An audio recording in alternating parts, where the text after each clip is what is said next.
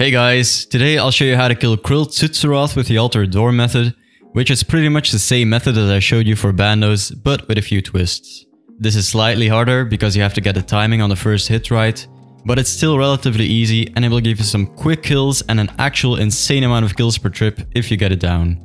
You'll need to have some good stats to do this, so you get the kills fast enough so that you never run out of run energy.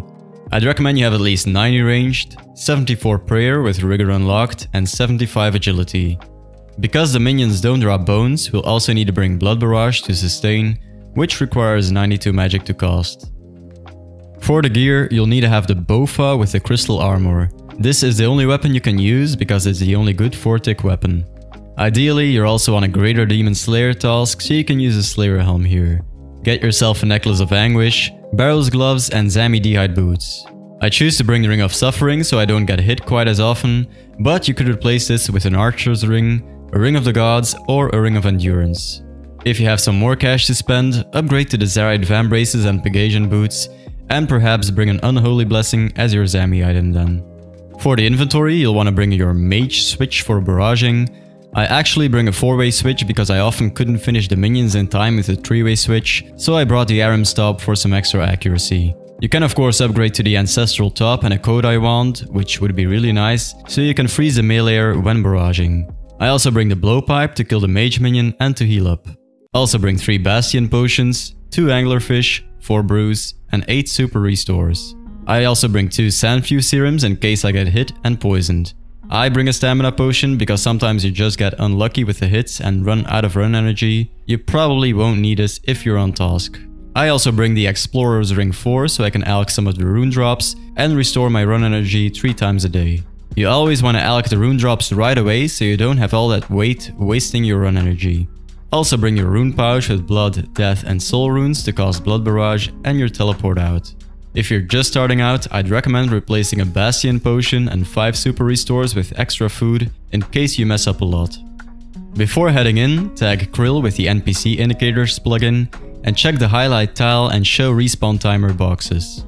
Turn on tile indicators and check the highlight true tile box. This will show you which tile your character is currently at. You'll also want to import these tiles by copying the text in the description and then right-clicking the world map to import the tiles with the ground markers plugin.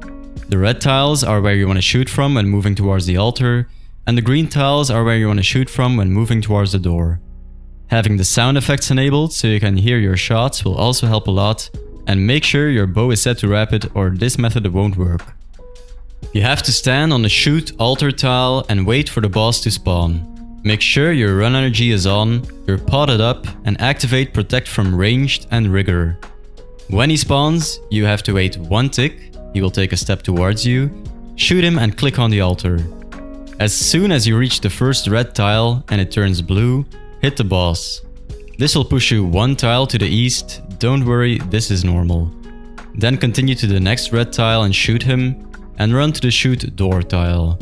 There you'll have to hit the boss and click on the door.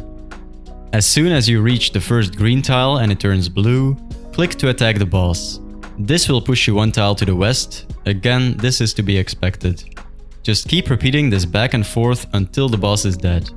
With this method you can't lose any ticks, so you have to attack as soon as you reach your tile, and you have to move to the next tile as soon as you hear your arrow shot. If it's your first time trying this out, I'd recommend just keeping Protect from melee up in case you mess up, which is to be expected. After you've killed the boss, turn your run energy off and kill the Major, Balfrug Kreeyath, with your blowpipe, use your special attacks to heal up.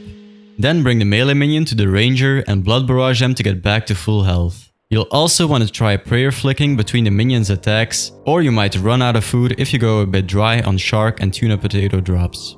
To set up the first skill of the trip, I like to enter the room with Protect from melee up and run one tile west of the easternmost marked tile and make sure K'ril is to the west of me.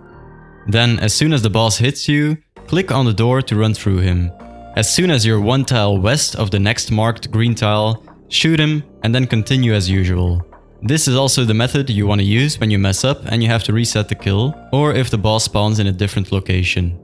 You could also tank a hit one tile east of the shoot altar tile and click on the altar, that will work the same way. If you get really good, you can even try resetting by staying ready on the eastern or westernmost tile and click on the altar or door just at the right time to run through him without taking any damage. Though this will take a lot of trial and error to learn, but it will prevent you from getting hit by the boss altogether. If you have to heal up during the fight, I'd recommend drinking a Saradomin brew in between hits, just make sure you don't miss any ticks between your attacks. You also can't drink any potions or brews when you're performing the red click to run underneath and through him, or the method will be ruined.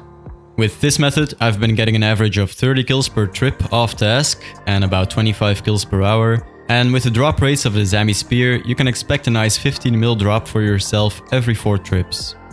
This method was also discovered by GE Challenge M, so definitely go check out his channel for some more awesome content. If you liked this video, make sure to smash the subscribe button and flick the bell icon so you don't miss out on my future guides.